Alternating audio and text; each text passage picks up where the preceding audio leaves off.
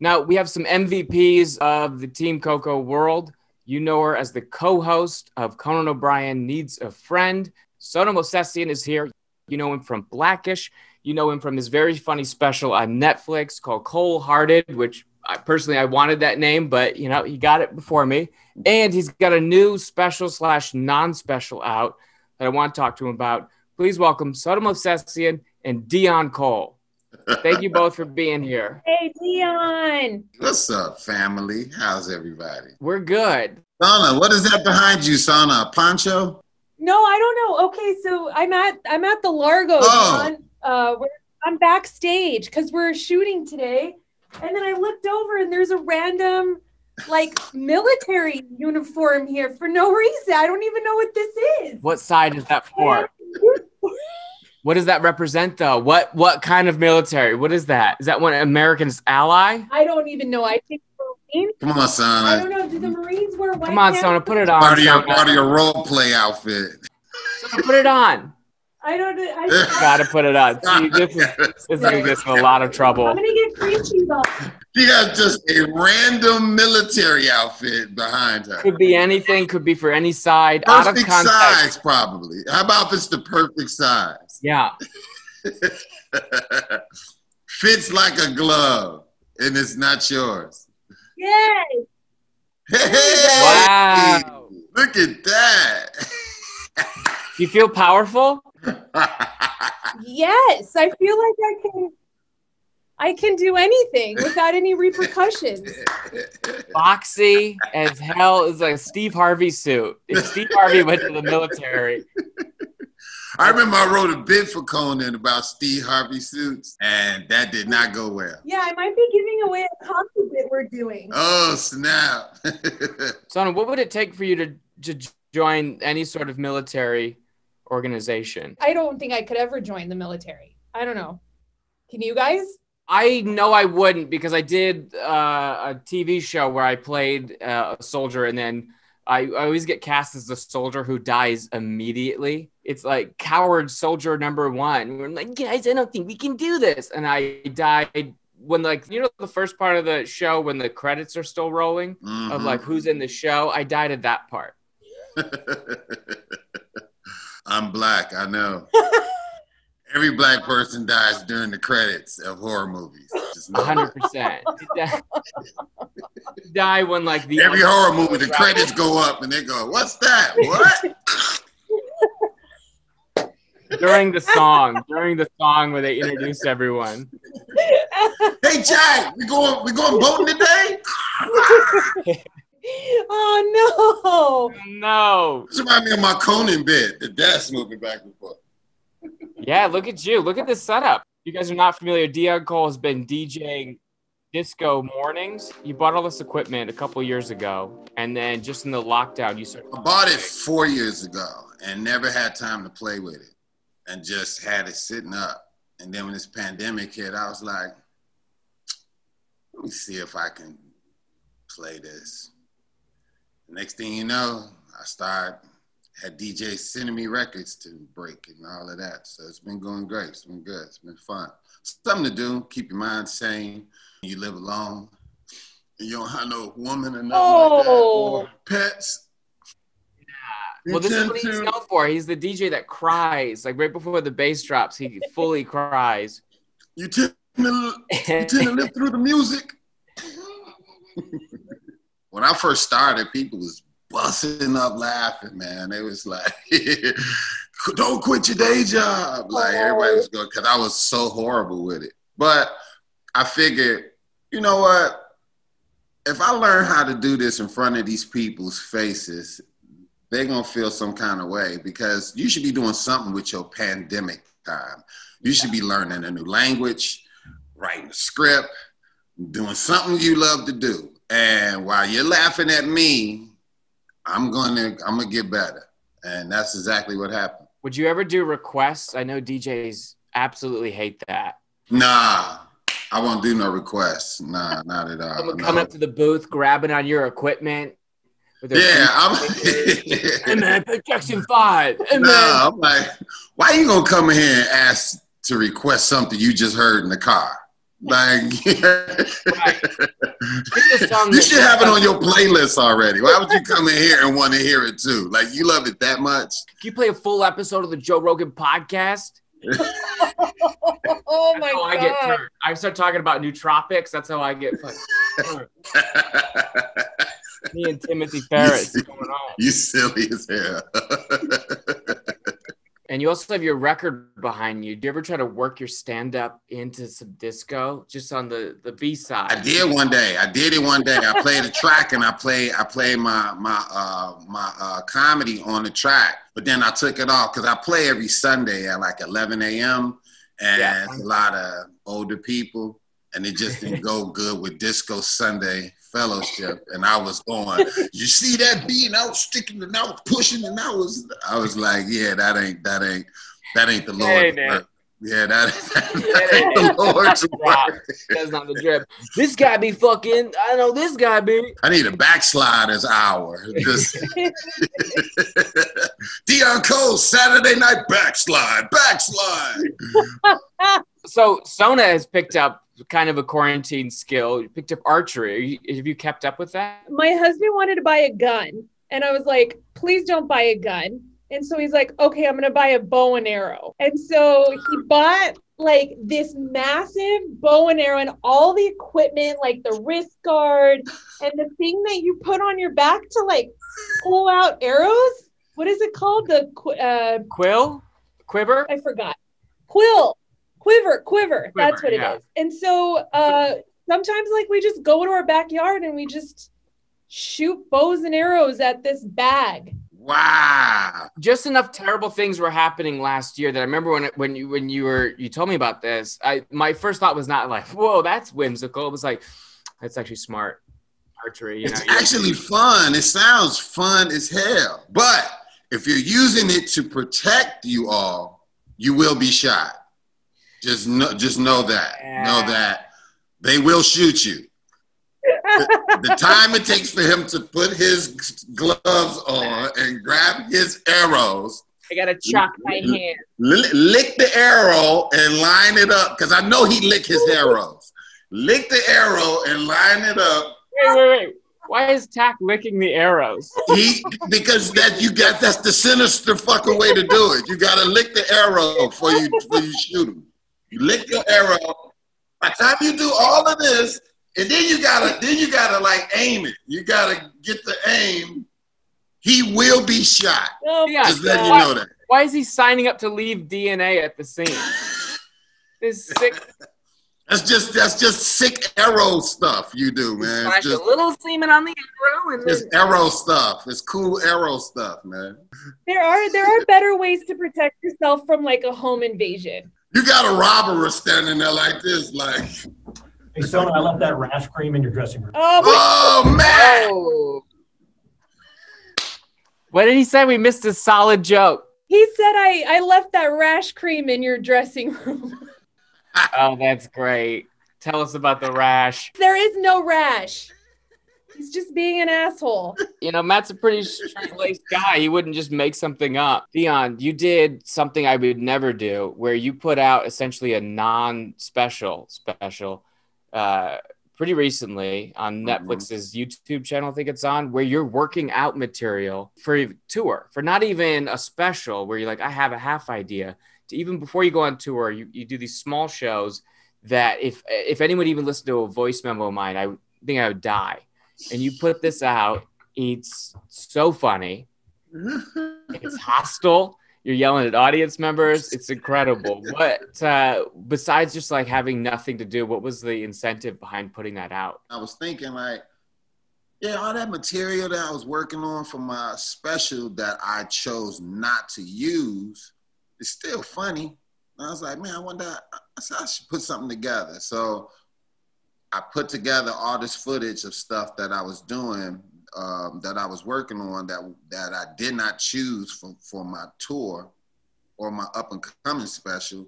And I was like, man, I should just put together and show the people just the whole process of, of, of how we come up with material and how it doesn't work and how we're insecure with it and just these nights of everything ain't glorified. Everything ain't in front of Yeah. 3,000, 3,000, 5,000 people every night. This is 40 people, me trying to work this out and show people this process, you know, as well as give them something, you know, that they can, you know, laugh at and, and have during these pandemic times or whatever. So I put it together, Netflix saw it, and they was like, damn, like, yeah, we can definitely do this. And I was like, yeah, we should definitely put it on the YouTube channel.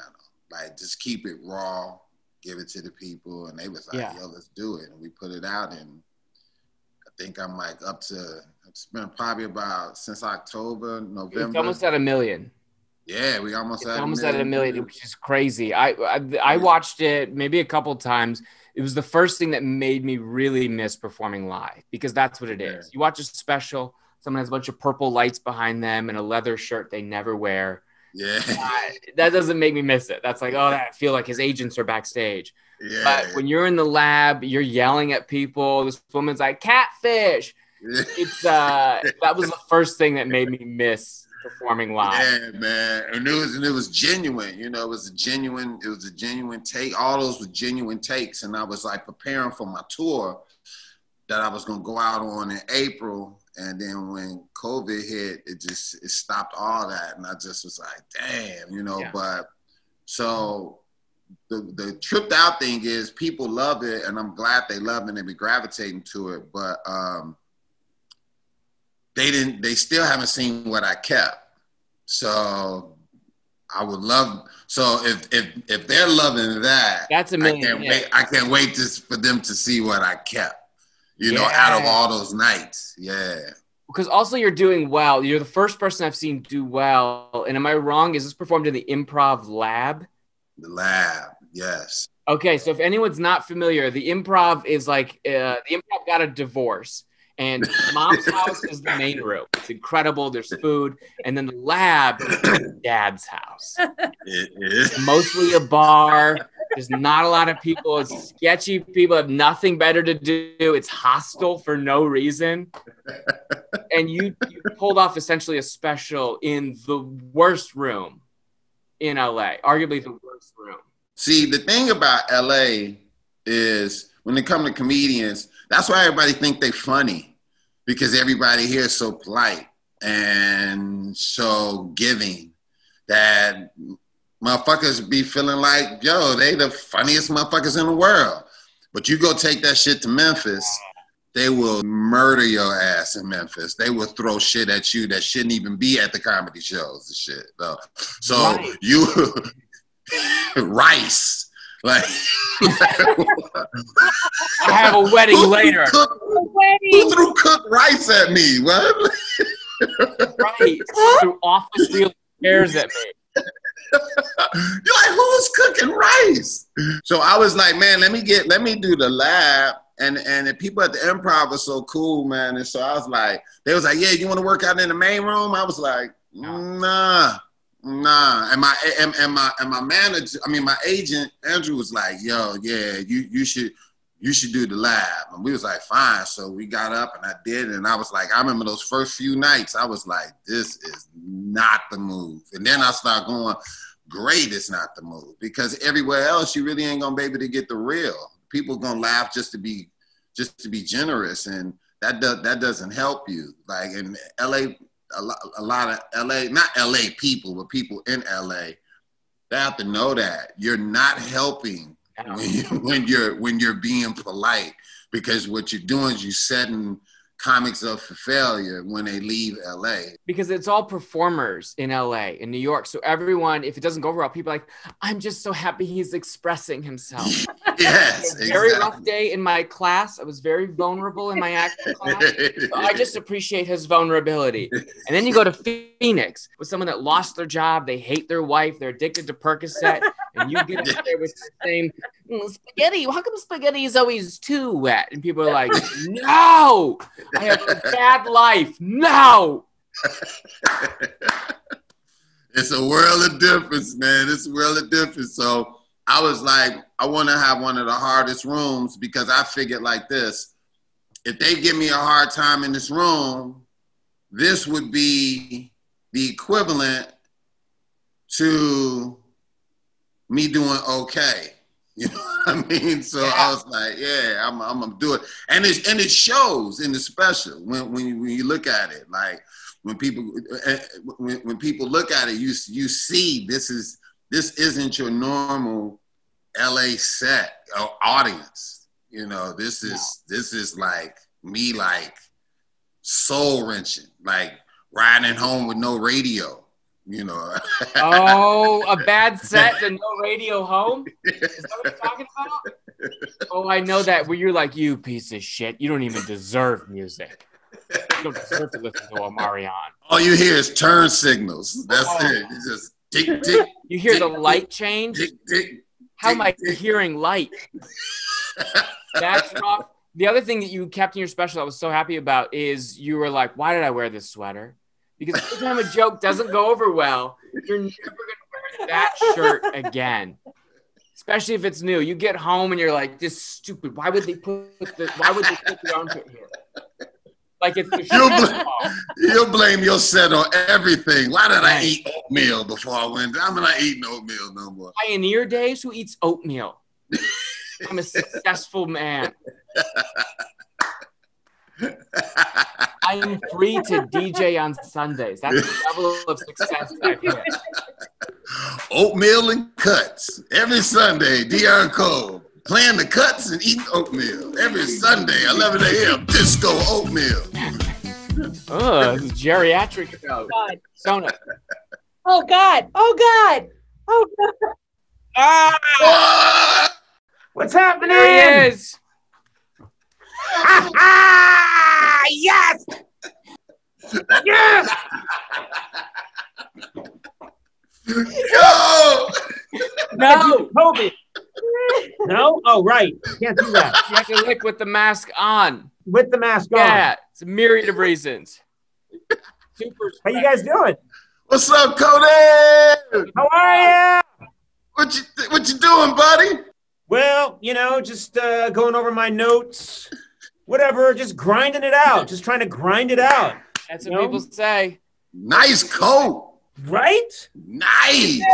Jeez. Red Baron. Yeah. Red That's what I'm doing it. like a biplane in here from the Truman era. in the Great Largo. Ooh, and a big old phone pouch. There's dust in here and it's creeping me oh out. Oh my god. It's okay, Conan. But I gotta run. I gotta get my makeup on. I'll see you guys later. All right, brother. Have a great you show. Know, Love you, man. Love you. Back in there. Don't tell anybody about the ventriloquist dummy. We're ahead of you.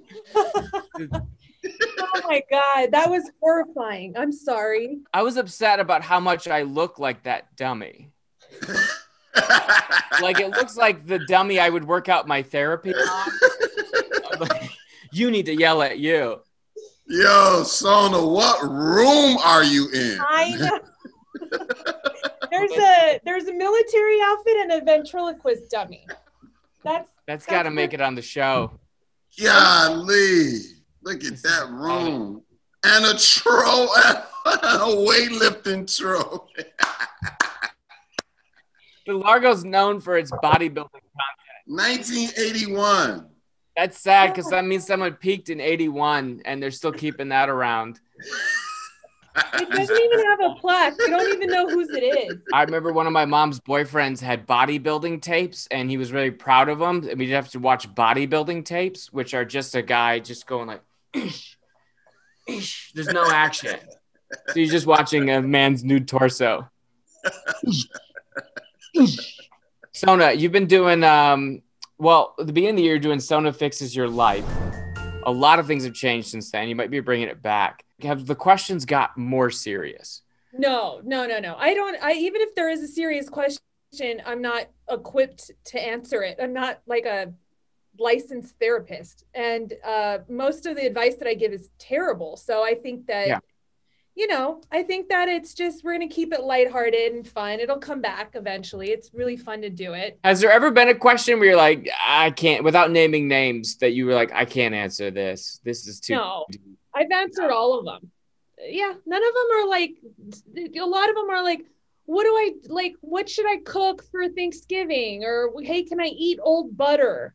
Like, you know, those are the questions that people. Is there such thing as old butter? That's what I said. Yeah. And also, I'm I'm in the house where I'm like, I don't even pay attention to the Best Buy or sell by dates. I go by smell. So if something smells weird, I won't eat it. But if it's like two weeks past the expiration date and it's fine, Yeah. Deon, how do you feel about that? Because like the best before sell by, it's all over the place. It's kind of like asking someone in LA their age, where it's just like, let's just say I'm best before June. Like you can't, there's no way to tell the dates on anything. are you guys strict with dates? That's funny as hell. No, I'm not. I mean, we I ate am. garbage growing I'm up, strict so with no. dates. You no, I'm are? strict with dates. I am. Yeah, and if something in you, if there's like an almond milk and it says February 21st and you see it and it smells fine, you won't even eat, you won't drink it. Yeah, I'm throwing it away. Really? Because I've done it before and I was like, hell yeah, whatever. And I got sick one time. And after that, I was like, okay, I'm good. Yeah, it's Yeah, like once, once you get sick, then you'll you'll you you've been you've been good. So you're gonna you're gonna keep eating all those expired things. What about medicine? Do you do the same thing with medicine? Oh yeah, it gets No. better. Cough syrup, Robitussin gets better. After the date? After the date starts to separate a little bit, starts to curdle. Ooh, what's this? No, my my parents are very old school. My mom did not give us like medicine. She just was like, just tough it out and beat it yourself. Old school, that's like the 1600s. You just beat it out and do some bloodletting.